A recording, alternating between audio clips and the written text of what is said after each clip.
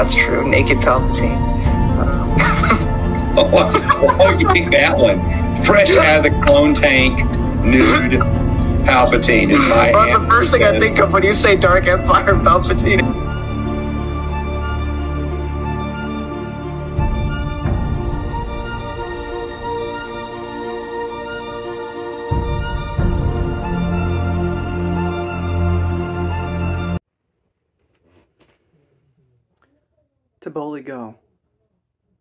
Where no one has gone before.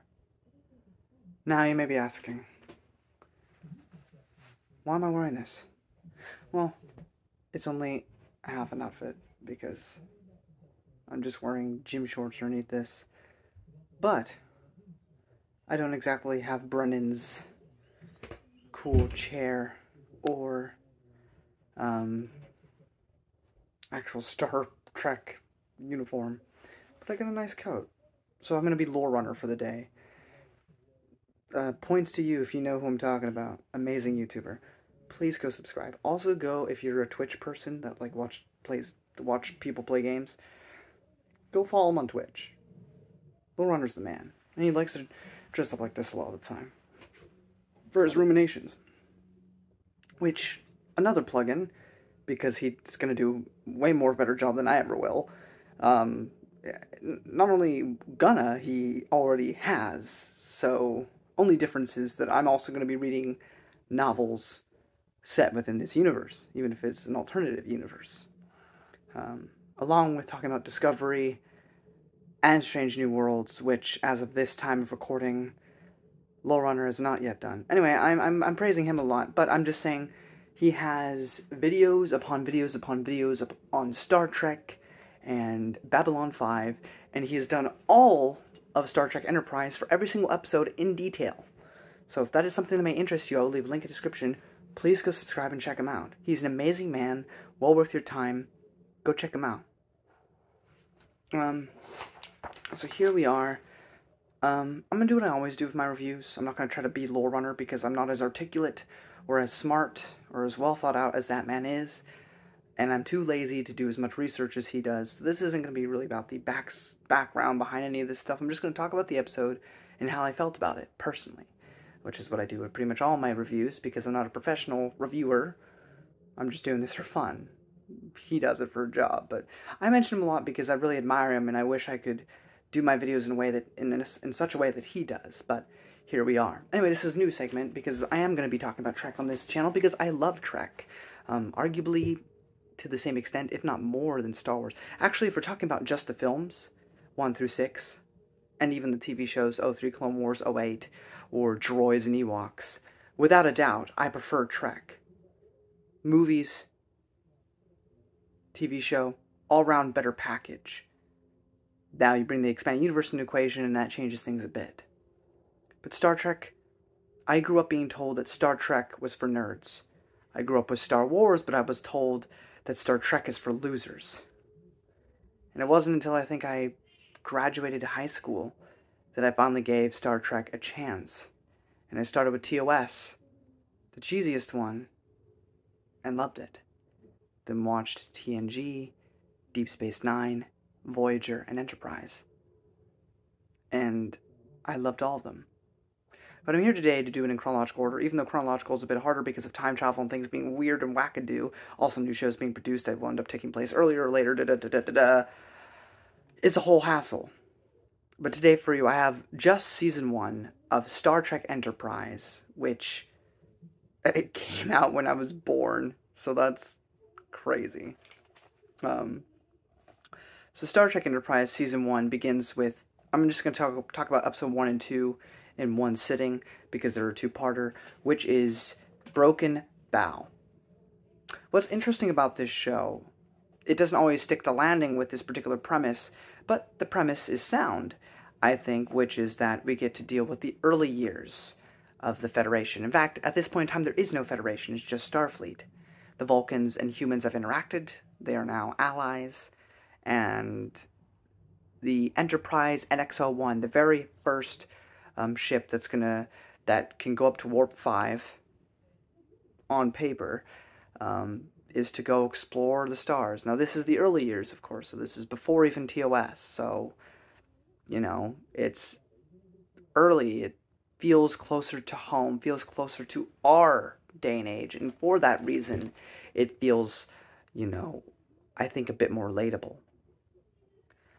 Um, and the intro. People always hate on the intro to Enterprise because it doesn't really feel like Trek, doesn't feel like a Trek opening. But again, isn't that kind of the point? We're dealing with an early age, you know? This song, it's like country or, you know, sounds like something you'd hear on the radio. But again, that's kind of the point. And I too will admit when I first heard it, I didn't like it. But over time, and having stewed over it, I quite like the intro now. And so, that's where I'll stick with that. Archer and Trip are two of the first characters we meet in this show. I absolutely love Archer. I think he's very flawed and definitely not the best Star Trek captain. But I think that's. I want to give the benefit of doubt. And I've heard Lorerunner talk about this as well, but I do think it was intentional. Um, but at the same time, there's a lot of really sweet moments with Archer that kind of endear me to him. And there's Trip, who's from memory one of the best characters uh, in this show, but also last with that. I just think Trip's really fun to watch. Um, earlier on, this in this first episode, we have this crash landing with the Klingon and these new people called the Suliban. And because of that, it kind of jumpstarts the project, which probably would have gone a bit later of having the X the NX-01 Enterprise leaves for space so they can return the body to the Klingon homeworld. Which this is a little weird too, the fact that they'd be singing Klingon right now, but at the same time, there's enough time between this show and TOS where they could have bad relations. Not that they're even the best of terms on this show, even. Um, but one thing I think is great, and is will be a through line throughout the Star Show, is that in this scene, Archer threatens. I mean, he's not going to do anything, but he straight out threatens T'Pol because he's so fed up with Vulcans. And T'Pol herself is a Vulcan, one of the best Vulcan actors we've ever had, because it's very hard to play Vulcan, because a lot of people play Vulcans as these robots, emotionless, but they're not emotionless. They're it's their thing. It's they control their passion, they control their emotion, but they still have emotions. They just try not to express them. So, I think she's one of the best actors to portray a Vulcan because she does a really good job of not trying to show emotion while absolutely showing emotion through her eyes and other um, gimmicks and um, body movements that she does.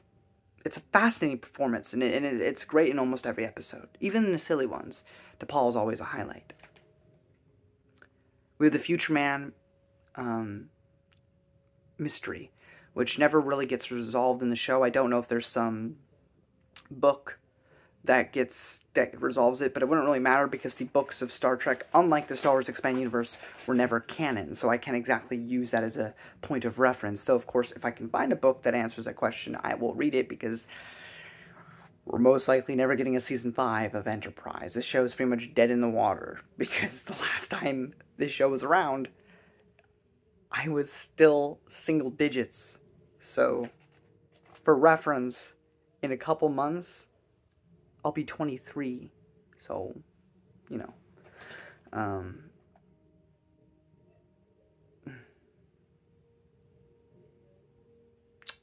then we get to season 1, episode 3.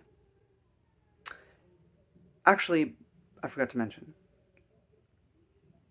I have to say, of course, this is going off of memory, but I honestly think that Phlox is one of the best Doctor companions, uh, or not Doctor, it's not Doctor Who. Um, one of the best like doctors in Trek. I, I think he's really fun. I, I really love the whole Denobulan sort of race and, and what that represents and everything within that. And the actor just does such a good job, and I, I've enjoyed pretty much every scene I've seen him in, even if he doesn't have much to do. And episode three is a very Hoshi centric episode. Um, it's okay, not the best, but um, it's interesting. We also have um, Archer's anger and non interference. Um, I'll be honest, some of these things I don't remember because they're so far back now. Um, sorry, that was episode three. And then episode four is Strange New Worlds, which uh, is uh, or sorry, not Strange New Worlds. That's the new show. Apologies. Strange New World. Um, this episode's okay. It gets really good near the end when this pollen is starting to affect the crew, um, and they're all getting really paranoid. And Tucker um, does, or Trip, sorry, does some phenomenal, um, phenomenal acting with T'Pol, where he starts, you know, like just getting super paranoid and claim that she's gonna, you know, like harm all of them. Um, it's it's really good. Um, episode five, I don't have too much to say outside the fact that Tucker gets pregnant and basically assaulted, and it's played off as a joke, even though, you know, I guess not assaulted, but he was at least violated. It was basically rape even if it was to him just as harmless as you know holding hands. But she knew it was going to happen. He didn't. So that's a little messed up. That being said it was okay. I don't hate really any of these episodes. I know um, Lorerunner put some lamentations on these episodes but i season one and two from memory i don't really hate any episode i just don't love most of them some of them i, I do but most of them are just eh, you know? And the only benefit excuse I'm going to give to this show is the fact that this is the early years, so it's not going to be as exciting as later shows. But you don't have to be that exciting, you just have to have good writing, which I feel like a lot of time they don't. Um, episode 6, Terra Nova. The aliens are humans they were colonists. They forgot they were colonists. Several generations have gone down. They think they've lived on this planet forever, but they just haven't. It's okay. I don't have too much to say about it. It's a forgettable episode, though.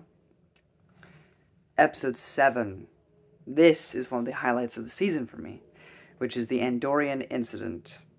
These are some of the OG aliens. We don't know much about them from the original series. We just know that they were one of the founding members of the Federation which were the Andorians and the Vulcans and the Tellarites, if I'm remembering correctly, and the humans, somebody else, I forget. But so it was cool to see them. The the way they do the animatronics on the little antenna things is really good. Getting to see Jeffrey Combs again, pink skin, because Jeffrey Combs is, of course, Weyoun from Deep Space Nine, which is my favorite Trek show. So getting to see him again is always great because he always puts in an amazing performance. And I thought Archer there's a lot of times where Archer's not very competent in this first season, but I thought he was fairly competent in, in this show. Like, you know, he picks onto the fact that there's something amiss, and they kind of play off of that, and then they find the Andorian, so I thought that was great. Um, there's a part with Archer and this blanket with T'Pol and I thought it was a nice little moment of her, him trying to give her a blanket so she'd stay warm.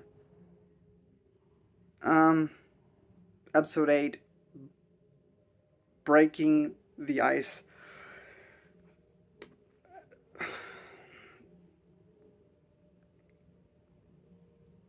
Archer's arrogant again, which is in a law of this show. I don't really have too much else to say. You should go watch Lorerunner's video on the episode, though. But that's pretty much all I have to say there. Episode 9, Civilization.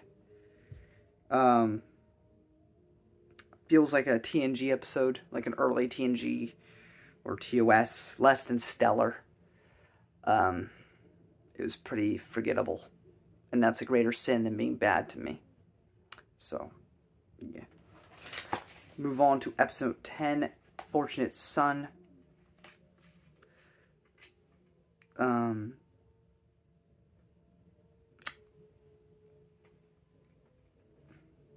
I want to give you stuff, but I, I I don't have anything for you. I don't really like this episode. I find it rather boring. I believe this is the one where they're on the ships, um, and it was it was done okay. And there are certain moments within the episode that are really good. Uh, Lorerunner highlights highlights a lot of them, but in the whole, it just is rather forgettable to me. One of the other good episodes of this season is episode 11, Cold Front, which is where we get introduced to the Temporal Cold War, which will be a bigger thing down the line and then will be kind of forgotten about. The Temporal Cold War is one of the most fascinating aspects of the show and what it brings to the table, and I was thoroughly enjoyed the whole way through. Episode 2, Silent Enemy, was a great horror episode. It was very atmospheric, very, uh, I wouldn't say scary, but it was very tense filled.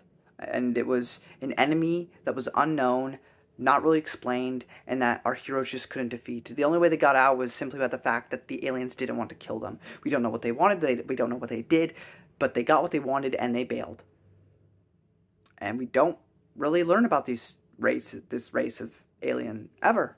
So they're just unknown. And as H.P. Lovecraft once said, the fear of the unknown is very is the greatest fear. Also, we learn that Reed likes pineapple. Great. Episode 13, Phlox! Phlox! What else do I have to say? It's a Phlox-centered episode, and I loved it, personally. Um, this is the one that um, involves what he will do with the civilizations dying from this disease, and, you know, Phlox is helping them because Archer's telling him to, but then it becomes a thing of if he helps them out, then these lesser, or not lesser, that's the wrong word, these less civilized, it also sounds wrong. The people that aren't on the upper food chain at the moment, if these ones that are in this civilized part of the world are killed off by this disease, then this other one will become the rising um, species on the planet. And Phlox doesn't know if it's his right to interfere with that and to let nature take its course. I have nothing to say about episode 14, it's boring. Moving on, episode 15, Shadow of P'Jem. Another, to me, really good episode. I know um, Lorerunner did not approve of this episode as much, but I rather enjoyed it. Um, Archer um, is upset about T'Pol's departure which again is character development because the first episode he wanted to punch her in the face. Now he doesn't want her to go because she's not only a useful science officer, he genuinely cares about her and her company. Doesn't want her to go. Um, Phlox and have some wonderful moment. Have a wonderful moment in this um, in this episode where she doesn't know about bringing the humans to this this sacred um, temple. Um, and there's this phenomenal scene. It's a very little scene, but T'Pol's eating her lunch, and Phlox is eating, and he's talking about, you know, culture and being inclusive and how that will further relations. And he shows an example of this. It's very subtle. They don't call attention to it, but it's something you notice if you're paying attention to his movements and body language. He instinctively, not to be rude, but it just kind of happens where he, he grabs a carrot or something, or no, celery, and he just, may I? It, it's, it's greatly acted, and go ahead. So he takes it, he starts munching on it, and he keeps talking through this whole scene, and through the scene, and I'm not trying to steal from Lorerunner, I, I noticed this before I even, because what I've been doing, like, ri ritualistically, like, like, religiously, you know, is I finish an episode, I watch his rumination, that's what I've been doing, so, but I, I, I, I saw this before I watched it, so in case you think of plagiarism, but he, I, I noticed it. He takes the celery, and he doesn't he doesn't call attention to it or say anything, but he grabs the celery, he puts it in some peanut butter, and takes a bite, kind of fulfilling the point that he was making. You know, it's two different things, two different, you know, things that don't usually go together, but when put together, makes a greater whole. And it, it was just a great little scene between the two of them. Um,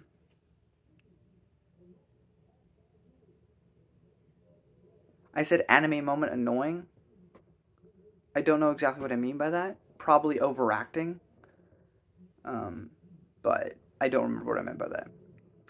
Um, Shran is back. He is the Andorian from the Andorian incident. Um, and. Oh.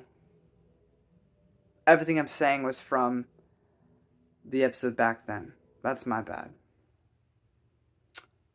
Shadows of P'Jem is after that. Um, sorry about that. I got all mixed up. But that that um episode, he goes on. They they, uh, to T'Pol's leaving. Um, and they end up getting captured with these people. It really doesn't matter. But the, the highlight is when Shran comes to help them. I got the two episodes mixed up. But the other episode is also really good. That is my apologies. It's late for me. And doing these, talking about them all at once is kind of a problem. Maybe I should do half a season. Maybe I'll do that moving forward with season two. And do half a season and then make another half a season video so that way I remember more as I'm going through it. My bad though. Shuttlepod 1 is a perfect example of a character piece episode, and I really enjoyed it. It's not very plot heavy. The plot is they're stuck on this little ship, little shuttle pod, and they need to survive. That's the plot. But what makes the episode is the characterization and the character moments. Now, those of you who know me, you've been watching my reviews for a long time, you know I'm a character first, plot second. I mean, I prefer to have both, but if I had to take one over the other, I would always take character because I think character work is the most important to me personally. Of course, if you have a bad plot, you probably can't have good characterization. But this episode works very well, and it's one of the highlights of the season for me. This is one time we actually get to really learn a lot about Reed, you know, and, and Reed and um, um, Tucker Trip have some good chemistry. Episode 17, Fusion, has abnormal Vulcans who are being experimental, trying to express their emotion again.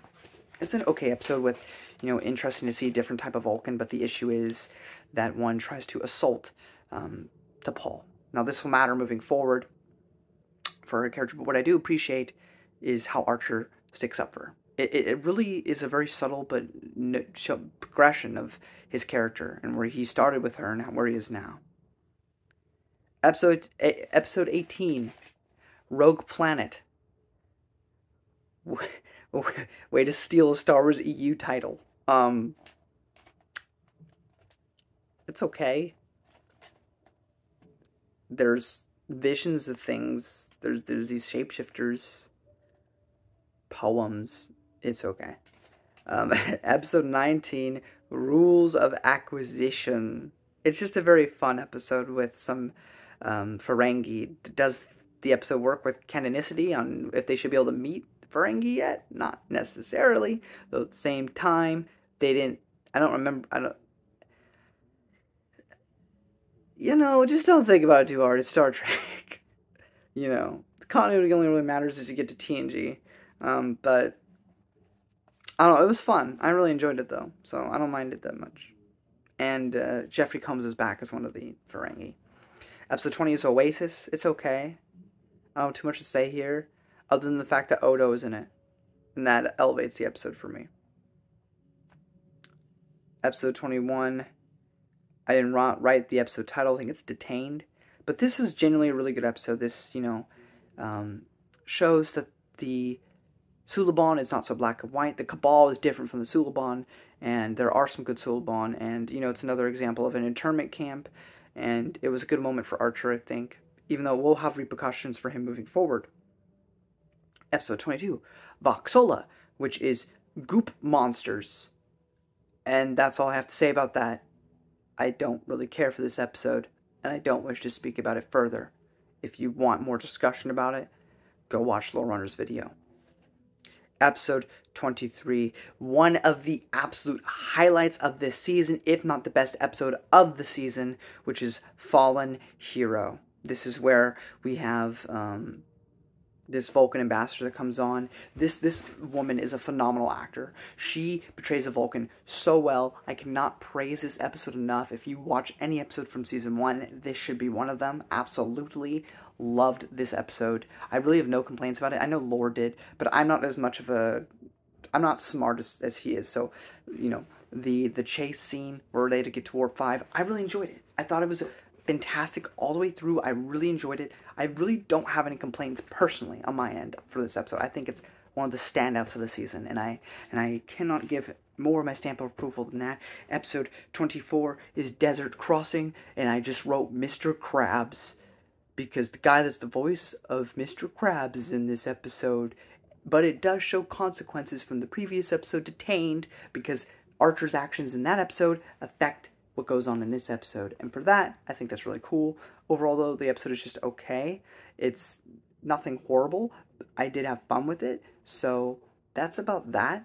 Um, it's okay. But I had fun with it. Clancy Brown helped. So I recommend it. Um, episode 25, Two Days, Two Nights, is a rather boring episode if, you know, this is the Karen Traviss Republic Commando effect, or at least the last two, Order 66 and Imperial Commando, where characters are just literally talking for a couple, for the whole episode. That being said, if you enjoy the characters, then you enjoy this. Um, the Archer ends up meeting this Tellarite, not Tellarite, frick, the people from the detained episode. She's undercover, starts asking about the Suliban that's the most boring part. That being said, I still was fine watching it happen. It just wasn't the most interesting. Um, Reed and Trip uh, get scammed by these two hot women who are actually two men that shapeshifted, uh, and, and they rob them, and then they're naked. Not naked. They're in they're in clothes, but it, it's it's a it's okay. It, and then there's Hoshi, um, who is trying to learn new languages. She's being really cute. I thought she's being really cute. Um, I mean, she's doing what she loves to do, which is learning new languages. But I don't know. It, it, I love that. That's it's a highlight to me that that's that's what she decided to do with her vacation. I don't know. There's some. I I I thought it's such a like a normal thing, but I really love that about her. I don't know. It was really. I know she's the communications officer, but I, I I thought it was great. You know, and you know, it was ultimately you know just a fling, just a one and done relationship with her and this dude. But I don't know, I thought they were cute. I thought it was fun. Um, it was just like normal everyday things, but it was it was nice. So I enjoyed it. Um, nothing much happens in this episode, but it was a fun um, episode nonetheless. Not something I necessarily recommend, but it won't hurt you to watch it. Um, but yeah, um, I was going to mention the finale, but seeing as that it's a two-parter, it technically bleeds into season two, and I'd rather just talk about it as one whole. So I'm gonna wait till my season two review to talk about that. Um, the format might change a bit, but I am going to be going through all the shows, all the seasons, all the episodes, and several books. So we'll see how this goes. I'll change the format a bit for TV shows. I'm not as used to talking about TV shows as I am to talking about novels. So I do appreciate you bearing with me on that. But anyway, that is it for my Star Trek Enterprise Season 1 review. I hope you enjoyed it and enjoyed my thoughts. If you want further, more in-depth, and just basically overall better um, discussions for each individual episode, I cannot recommend Lorerunner highly enough. Well, well, well worth your time. I hope you check them out. Um, and I hope you subscribe to see more Star Trek videos from me, as I will also be discussing several books from the um, that they've written in, in this universe. So I hope you'll check that all out with me. And until next time, guys, engage and live long and prosper. Till next time.